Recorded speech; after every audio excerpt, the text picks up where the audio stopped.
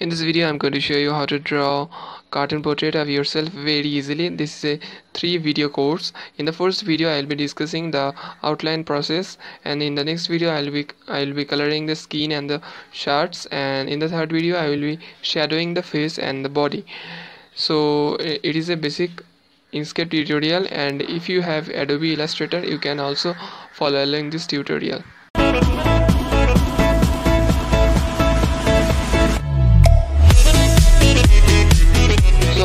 prepared a color palette viewer if you want the hexadecimal codes of the colors I have mentioned it in the description below. Please check that out.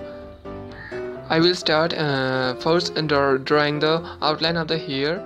I will use the Bezier pen tool here.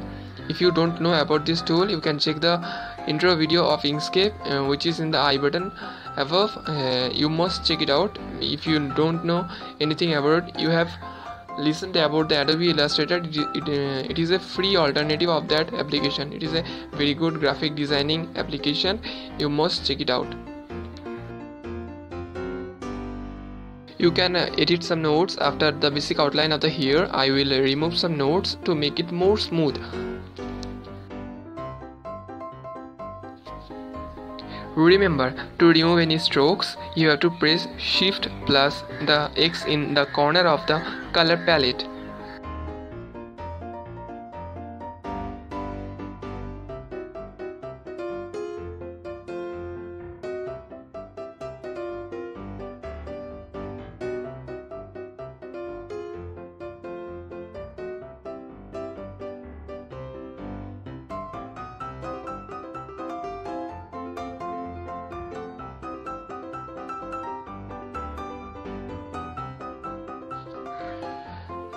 I think I have messed it up when drawing the lower portion of the hair. I have to solve this problem editing the notes.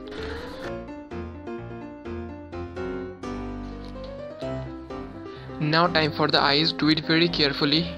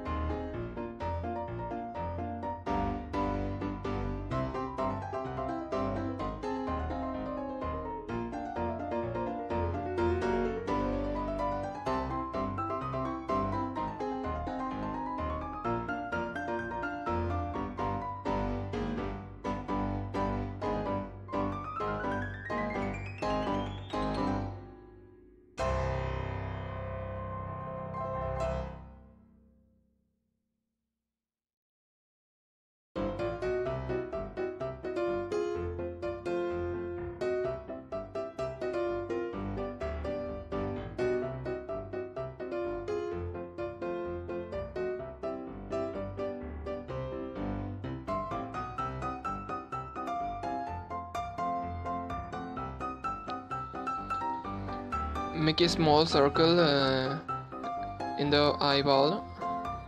Then align it up. I will make some gradients in the eye. Now just follow along me. Press ctrl D to duplicate then selecting both. Press ctrl plus shift plus asterisk.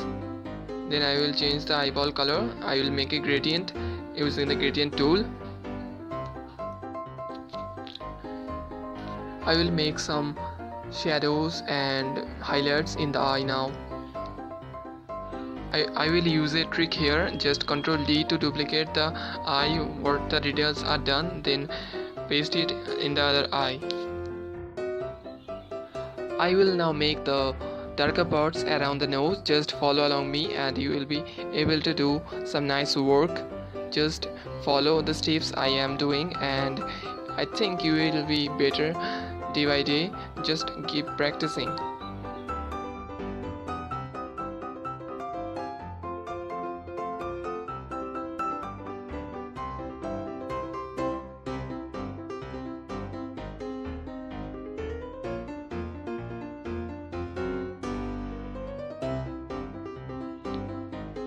Some last few touches this was the part 1 in this part 2 i'll be showing the colors and in the part 3 i'll be doing the shadows. So you must check that out. The link is given in the description and in the in part of this video. Okay goodbye. Thanks for watching